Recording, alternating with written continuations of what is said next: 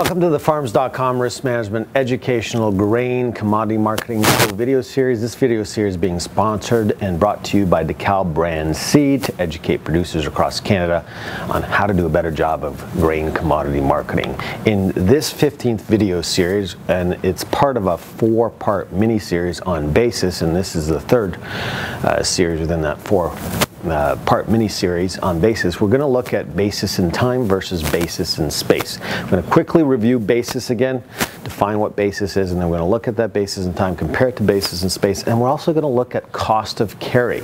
What is cost of carry? How can we take advantage of cost of carry? When should we do that? So let's start off with a review of what basis is. Again, this is a chart that shows cash versus futures. The difference really is basis. It's that simple. Basis is important part of your pricing decision because uh, the return is always the local cash price. Understanding that relationship between the futures and cash is important in that risk management strategy. Remember, futures is your biggest risk, not basis, but we should not ignore basis altogether. Uh, corn futures can drop from seven to three dollars in very quick order.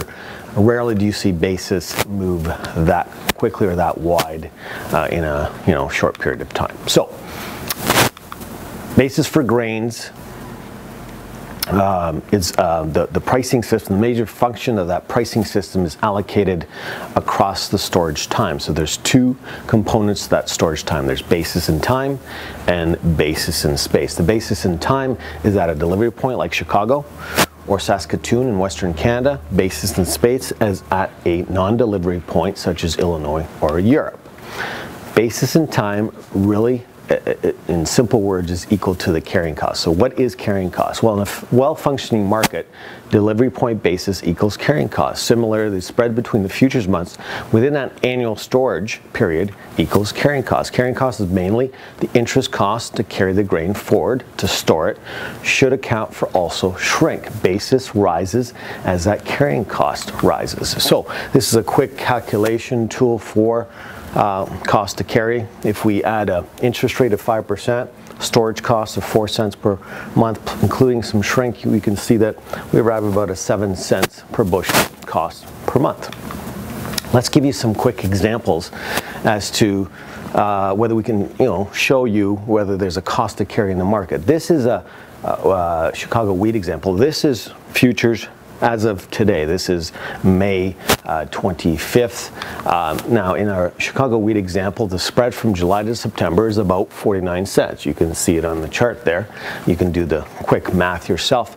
And this spread, and the spread from July to December of 2011, is um, um, 98 cents. So the market is actually compensating the producer enough to store that. Uh, uh, because the, if you multiply two months by that 7 cents, um, you get to 14 cents. The five months multiplied by 7 cents gets to 35 cents, yet the market's giving you 98 cents. So in this situation, a producer would actually take advantage of the cost of carry and not sell in the front months, but rather store and sell in the December 2011 futures month.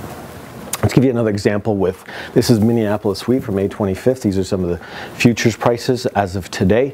And in this example, um, we have an inverted market where the front months are higher than the deferred months uh, because they're concerned about the quality of milling wheat or supplies in the system. And therefore they're driving prices higher in order to ration demand. The spread from December to July of 2012 is approximately, it's barely a penny per bushel, very little cost to carry. So in this situation, a producer is not going to store um, because there's very little cost to carry. In fact, once the, the bushels are ready to harvest, he would just sell off of the, the um, uh, September or um, in July futures contract if your harvest is that early.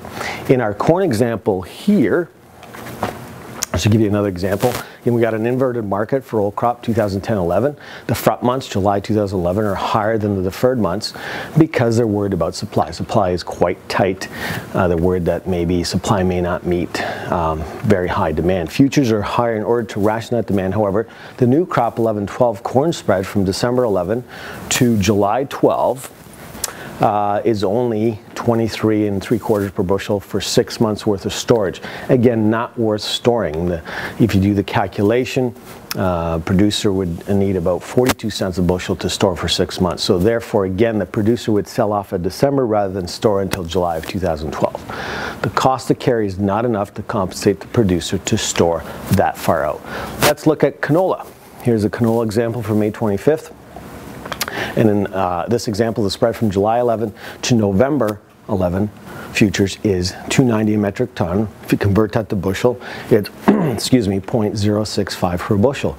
The spread from November 11 to July 12 is 17.8 or 40.4. Some carry there, still not enough to compensate the producer that needs about 49 cents per bushel. In our last example, we're looking at soybeans for May 25th, 2011. In this example, we have an inverted market again, similar to the corn example earlier. July 11 soybeans are slightly higher than November, not, not as high as the corn example, about 15 cents per bushel, supplies remain tight. The spread from November, November 11 to July 12 is about 12 cents. Again, not enough to compensate that producer to store as far out as July of 12 the producer would sell off of that November 2011 futures contract. Now let's talk about basis in space. Basis in space uh, simply is equal to the transportation cost. The spatial component of basis at a different delivery point is equal to that transportation cost to and from that non-delivery point. Um, in essence, basis at a location different from, say, Chicago will generally be determined by the transportation costs to and from that delivery point. Places that are at surplus will have a negative basis. The local price will be under Chicago cash by transportation costs. In this chart here, um, uh, we've got East Central Illinois, which is a surplus producer. The local cash price will be below Chicago. It has to be low enough in order to move that corn out of uh, um, to some other point. Ravenna Italy is, a, is also included. Ravenna is a deficit producer, so the price would have to be high enough in order to pay someone enough to move that grain to Italy.